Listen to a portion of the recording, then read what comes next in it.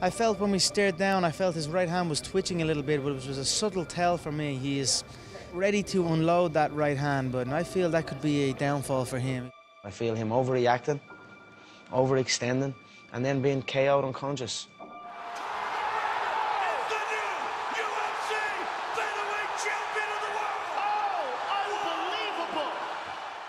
I will be a two-weight world champion, held consecutively. There'll be a belt on one shoulder and a belt on the other shoulder. I said I would do it, and I will do it. If he wanna come to lightweight division, I will be here. You know, I'll be here with my belt, and if he want my belt, he gotta beat me.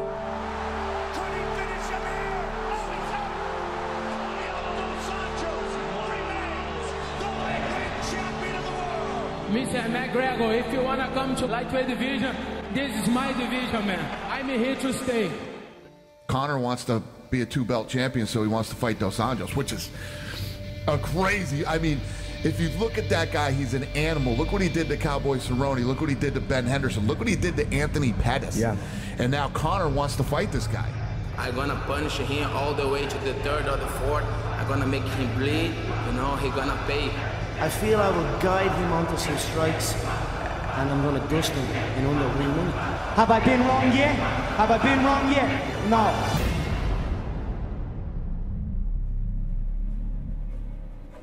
When everybody asks me why I would let Conor hold two belts when we've never done it before, because Conor has kept his word on everything he said he would do. I, I said that uh, that would be the shot that landed, and that's the shot that landed. Like usually happens if I say it's gonna happen, it happens.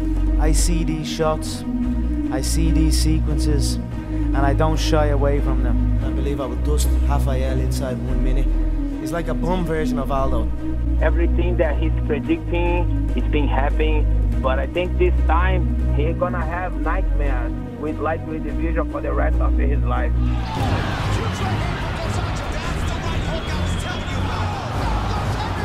Dos Anjos is at the top of his game.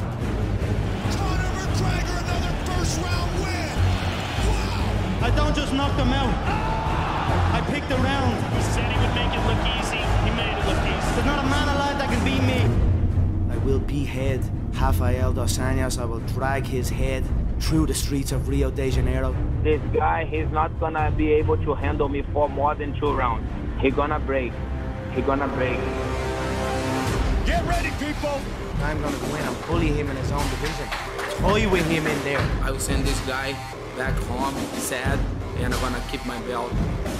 This is the main event of the evening.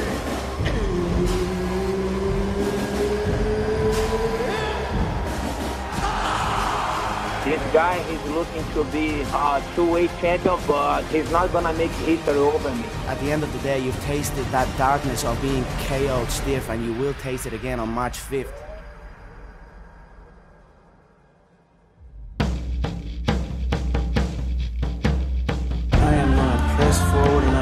Break my opponent down. I'm gonna raise that gold in front of my home country.